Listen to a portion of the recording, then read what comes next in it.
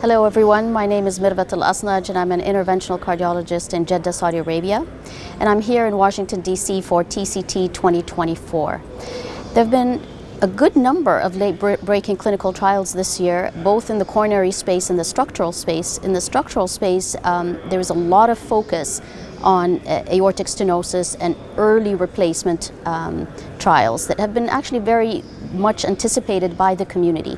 The first one is the early TAVR trial that really looked at patients with severe aortic stenosis and were asymptomatic at enrollment. Now these patients was about 900 patients randomized um, to a watchful waiting strategy versus early re, uh, replacement.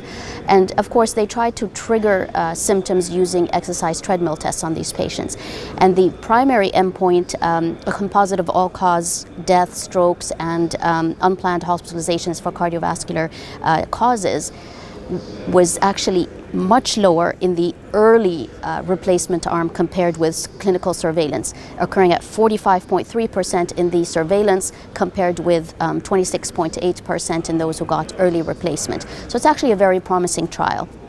Some of the other trials that were actually presented here um, that looked at early intervention for severe aortic stenosis were not as positive but nevertheless we learned from them. One of them was the EVOLVED trial that looked at 224 patients who had um, severe aortic stenosis but were also underwent cardiac magnetic resonance imaging to look at um, fibrosis and they quantified the fibrosis and then uh, randomize these patients to either early replacement compared with uh, watchful waiting again.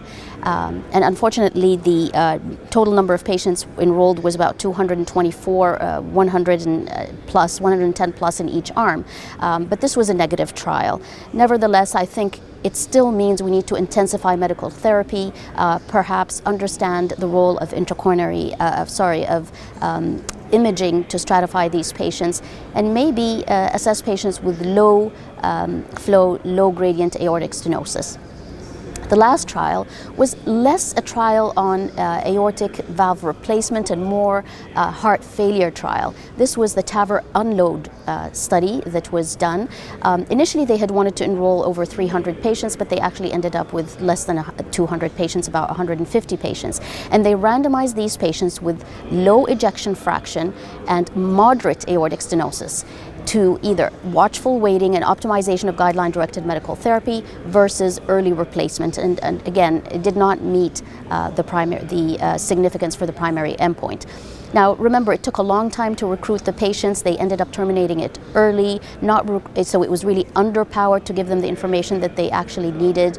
Um, and guideline directed medical therapy, when this trial was initially started and designed, was very different than what it is today with the four pillars. So I'm just wondering if a trial like this is done again and given the chance to go to completion, would there actually be a difference?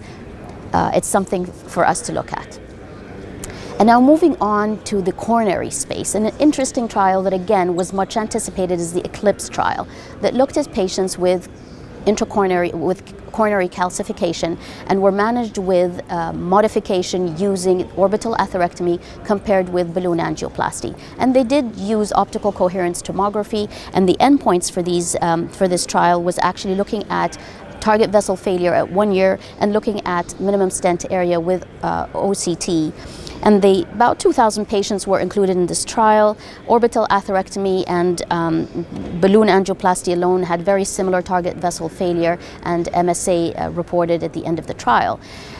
Why was it negative? Well, perhaps you know the, the, role of intracoronary imaging here was done after the fact, and so initially they recruited patients based on fluoroscopy. So I'm just wondering if these patients, in fact, as Gary Mintz mentioned during the during the um, TCT meeting and during the discussions, that perhaps these patients, if we had done intracoronary imaging, it would not have warranted atherectomy because it's deep calcium and not superficial calcium that needs modification. Again, so probably um, changes in the design of this trial, uh, looking at longer term outcomes. But you know, looking at the results of orbital atherectomy, that should not impact other modification tools such as rotablation and shockwave lithotripsy. But it, none of the trials that we have at, at the moment look at head-to-head comparisons between them. As an interventional cardiologist, for me, perhaps the endpoint should not be really just looking at target vessel failure, but actually immediate success. I don't think any interventional cardiologist will be implanting a stent in a lesion that is yet to yield and hasn't yielded to balloon uh, angioplasty. So um, you know, without boring you, the other trials that were presented in the coronary space really focused a lot on physiology. So looking at pullback gradients presented by Carlos Collet post-PCI uh, was very intriguing and looking at some of the others that looked at multivessel PCI guided by uh, intracoronary physiology, some of the CMR trials as well. So I think this space in terms of intracoronary physiology and the trials that are still in the pipeline are going to be interesting to look at. Um, some of the trials, such as the uh, uh Cosmic AS trial that looked at using physiology to guide coronary disease in intermediate lesions with patients with AS. Yes, you can use it. So that's a lot of space here that um, was very useful for us. Um, and I think after the guidelines have upgraded the use of intracoronary physiology, we will probably see a lot more use in clinical practice and hopefully more trials will come in the pipeline. So thank you and hope to see you another time.